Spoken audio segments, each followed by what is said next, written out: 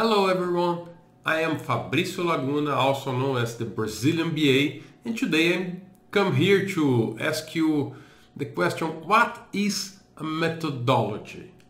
I have been working with that for the last 20 years, but I still ask myself about that.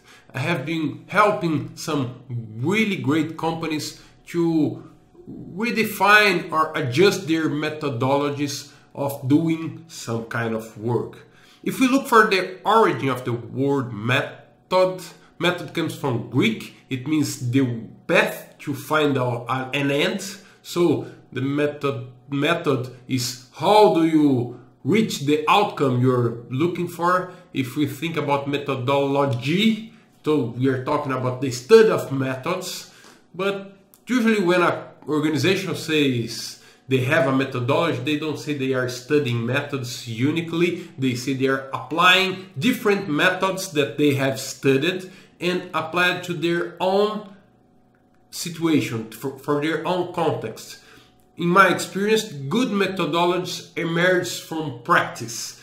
Organizations are trying to enhance the way they are doing the repeatable work in their organization and they create their own methodology for do that. And you can create methodologies for do almost anything. Let's say for an example that i want to put this picture in the wall. So put a picture in the wall is a common job and you may have a methodology to do that. And what's a methodology format of? I think a methodology must have at least five components.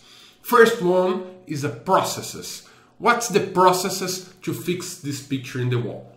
Well, the process would be a set of steps or a set of tasks that must be done. At first, I would decide where to put this picture and mark it on the wall in the right place. Then I should study the viability of fixing it in the wall and are there pipes on the wall that may be damaged if I make a hole there? So I have to study my blueprints and see what's there inside of the wall. Then I, based on what I have studied, I will decide what type of way I will fix that picture in the wall. Should I use a screw? Should I use a nail? Maybe some glue or double-sized tape. Uh, there are different types of ways of fixing uh, something in the wall. Let's say that I choose this one, so I have to make the hole and put it there. So there's a set of steps until I find the outcome I'm expecting for. In the same way, there is in, a, in the business analyst job, we also have a process for that. Well, I would say we start by defining business requirements. Then we study different options to reach those business requirements. Like we do a, a viability study and see what's probably the best option, and then we have to specify the re- solution requirements and so and so on and so on. Right? There is a process for every methodology. Process is the first component. The second component would be roles and responsibilities. In my case, for putting the picture on the wall, my wife would probably define the place where the, the, the picture is. My oldest son is studying engineering, so I would ask him to analyze the viability and see where the pipes goes, and I would probably be the one who would fix the nail.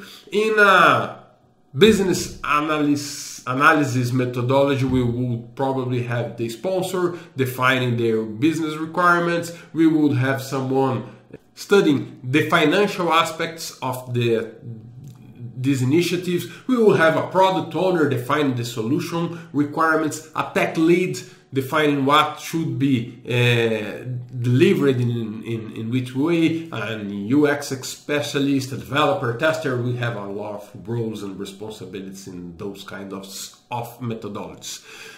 The third component of a methodology would be deliverables, products and deliverables. Let's say that the definition of the place in the wall is some deliverable, the a viability study would create some kind of documentation or some kind of assessment report uh, from my son saying that, that that's fine.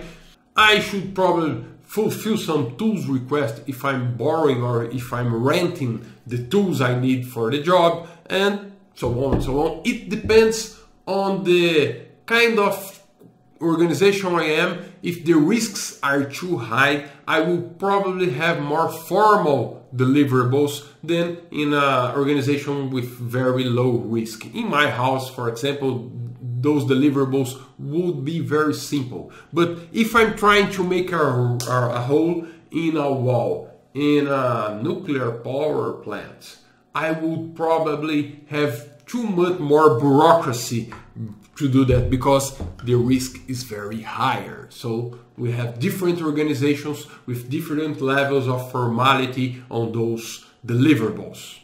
The fourth element of a methodology would be the tools. So this is a tool, this is a tool, the pencil is also a tool. My son would probably use some AutoCAD to look at the blueprints and understand what's going on. We also have some tools as business analysts. We may use our project and program management tool. We can use Jira. We can use Trello to control Kanbans uh, wiki page, some enterprise architecture uh, picturing tool, or the most used tool, tools for uh, almost all business analysts are the Microsoft Office, Word, and Excel tools. All those uh, tools are available. In our cases, more often software.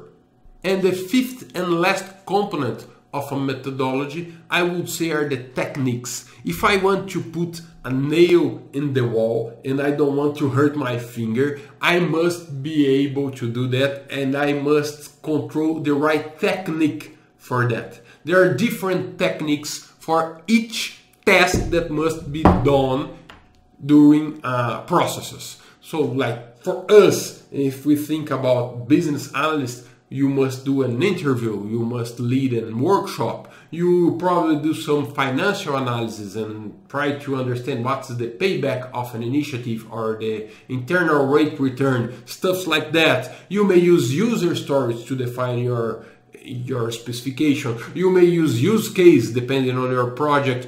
You may use ATDD to define the acceptance user criteria for your user stories and there's are a lot of techniques available to be used in your methodology. What's the best one? That's something that you have to think in your context for your organization. What I recommend you is that you look around you and see all the available frameworks and good practices that are available in the market and adapt those for your organization. So the methodology will be specific for your context and for your needs.